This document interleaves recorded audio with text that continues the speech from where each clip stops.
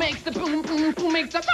My man, which battery is the best value, Rayovac or Duracell? Yo, it's Duracell, dog. Wrong. New Rayovac. With improved power and our value price, Rayovac beats Duracell for value.